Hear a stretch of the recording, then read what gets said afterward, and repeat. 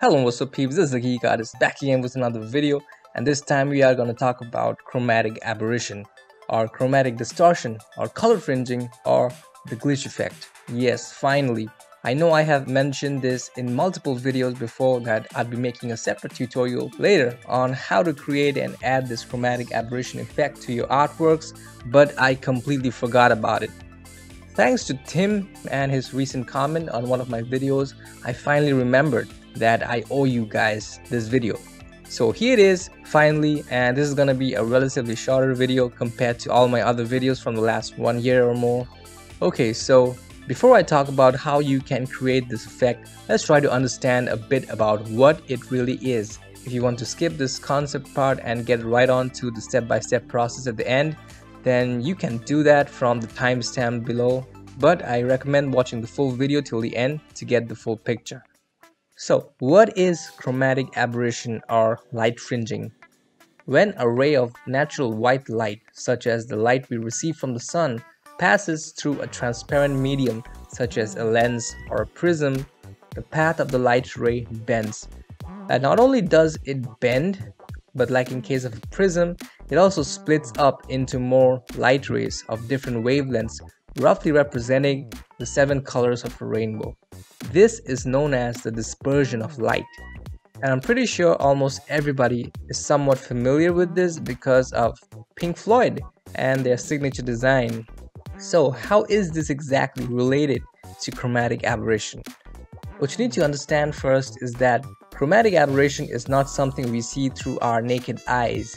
It's something that's visibly captured only by camera lenses so it is exclusive to photographs or videos taken with cameras and cameras have lenses and chromatic aberration happens when the camera lens fails to concentrate or focus all the light rays at one particular point.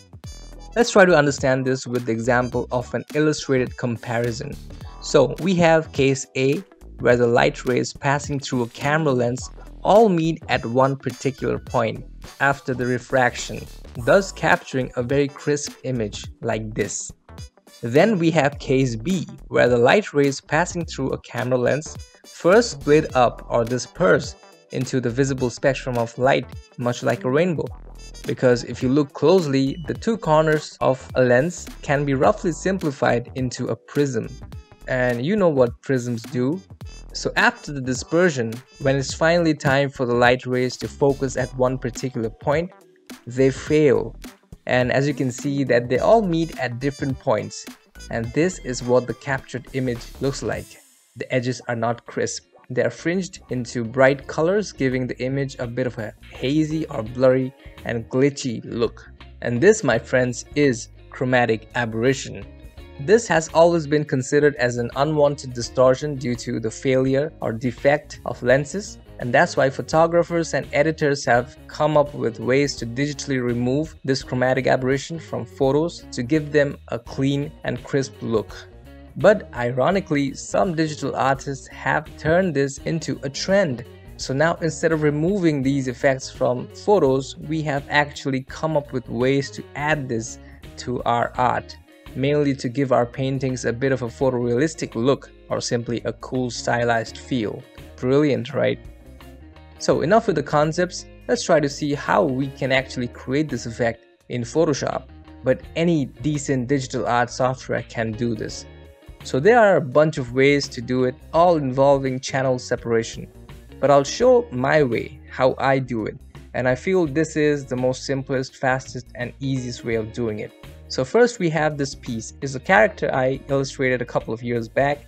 Clean and crisp edges, no color fringing, and we'll add the chromatic aberration now. So for that first I'll duplicate the layer and now I'll double click on the thumbnail of this duplicated layer from the layer panel and it'll bring up the layer styles panel. Alternatively, I can also click on the FX icon from down here and choose blending options and again it'll bring up the layer styles panel. Now I'll go to the advanced blending section and beside the channels I'll unclick or deselect the G or green channel. Then I'll click on OK. That's it. We are done.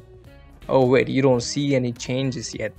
Right. So let me select the move tool, click and move the duplicated layers and here it is easy peasy now the trick here is to not overdo it so I'll just zoom in and use the arrow keys on my keyboard to gently move the layer slightly to the side diagonally not too much or the image will get a bit hazy just enough to sort of mimic the photographic color fringing near the sharp edges. You can also vary the amount of distortion in specific areas of the image. So if you want to overdo it a bit in the background to make it more hazy or blurry, then I'll duplicate the layer once more and repeat the same process. But this time I'll switch off the red or R channel only. Now I'll move it quite a bit to get a significant distortion or aberration, but it's affecting the character also. To fix that, I'll select the eraser tool, select a soft round brush and erase this new layer only near the character area. Alternatively, you can also do this with mask, that's the non-destructive way. Now you can see the glitch effect is mostly on the background and very little and subtle on the character, thus adding more depth to the scene and helping the character stand out more from the background. So that's it. I hope you enjoyed the video and got to learn something new and if you did, please hit the like button, share, comment, subscribe and click on the bell icon to stay updated with all my upcoming videos. So that's all for now, see you on the next one, peace.